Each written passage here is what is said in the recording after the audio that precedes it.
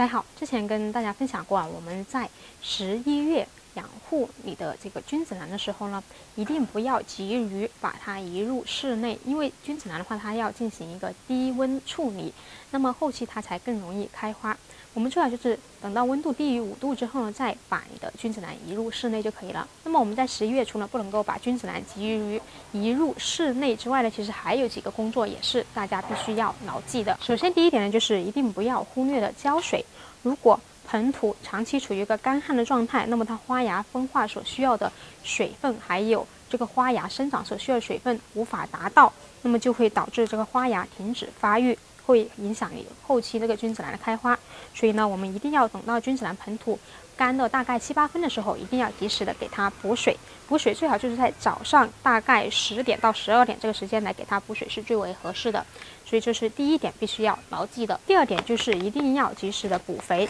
因为这个时候的呃君子兰的话，如果温度比较合适，它对肥的需求是非常的高的。如果肥不足，它后期也是很难生长和开花。所以我们用肥的话，可以采用这种用肥方法，就是给它在盆土里面呢，给它埋上一点固体有机肥，来增加盆土里面的营养。那么固体有机肥的话呢，我们就可以选择用这种发酵腐熟好的羊粪，将你的君子兰盆土周围啊给它铲松，一定要沿着这个盆边铲，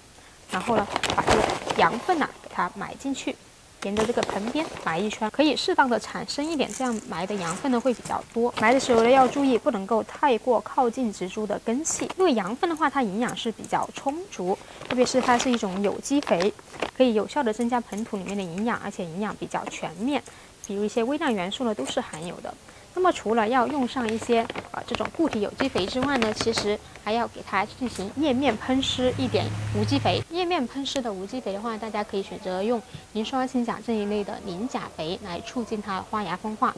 磷酸氢钾稀释一千倍，每七天给它喷施一次就可以了。但是一定要注意保证环境的通风，并且不要让水流入叶心里面。如果不小心流进去了，一定要用纸巾及时的擦拭掉多余的水分。第三点呢，就是防治病虫害的工作了。虽然这个时候病虫害不多，但是呢，我们也一定要做好这个预防工作才行。